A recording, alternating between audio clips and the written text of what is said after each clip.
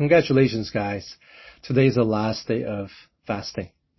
I'm sure it was difficult for you as it was for me, but fasting has allowed us to contemplate on our spiritual hunger, sufficiency, and dependability of Christ.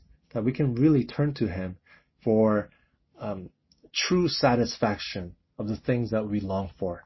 That there's a spiritual reality and there's a spiritual longing in all of us that we're just masking through the things of the world.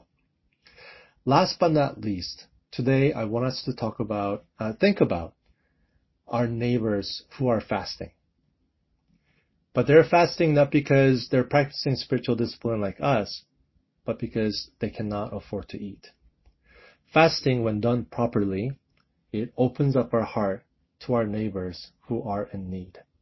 And it gets us to be generous it forces us to think about those people who are in need and, and um, create this desire in us to visit them and to help them. So during this Advent season, I really encourage you to come out to Street Cafe or pray about where you can be generous with your money. And that's the meditation question for today. Does your spiritual discipline connect you with those who are in need or is this a simply a bit, one way to become a better version of yourself? I pray that as you serve and visit the needy, that the image of Christ will begin to solidify within you.